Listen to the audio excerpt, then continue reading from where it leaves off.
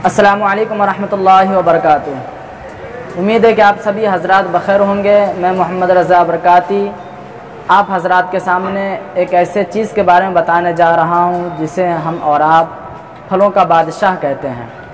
आज मैं उसके बारे में बताऊँगा कि वो किस किस फ़ायदे में आते हैं और क्या क्या फ़ायदे हैं उसके। उसके पत्तियाँ किस फ़ायदे में आती है, किस काम में आती है, उसकी गुठलियाँ किस काम में आती है और केरी किस काम में आती है? आज मैं पूरे डिटेल्स में फलों के बादशाह के बारे में बताऊँगा, यानी आम के बारे में बताऊँगा।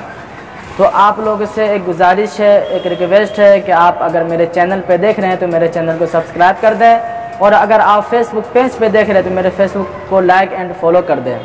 तो चलिए वीडियो स्टार्ट करते हैं। आम के रेशे आंतों की सफ़ाई करते और हज़म का निज़ाम दुरुस्त रखते हैं।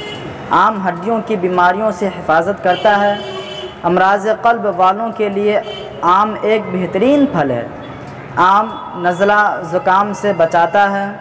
आम जिस्मानी कमज़ोरी को दूर, जिस्म को फरबा मोटा और खून पैदा करता है। आम का जूस यानी मिल्क शेक, जिगर, दिल, दिमाग, हड्डियों और पुट्ठों को सख्त गर्मी से महफूज रखता है। कच्चा आम यानी केरी लू लगने से बचाने, मैदे और आंतों, निज़ाम को दुरुस्त करने, खून की बीमारियों को दूर करने और सफ़ेद बालों को स्याह करने के लिए भी बतौर दवा इस्तेमाल किया जाता है। कच्चे आम यानी केरी का अचार भी बनाया जाता है, जो जिस्म को फरबा करता है। आम के छिलके, कैंसर, शुगर, कोलेस्ट्रॉल समेत कई बीमारियों से बचाने में मददगार है। आम की गुठलियों का सफूफ हाजनों को दुरुस्त करता और मैदे के ख़राबी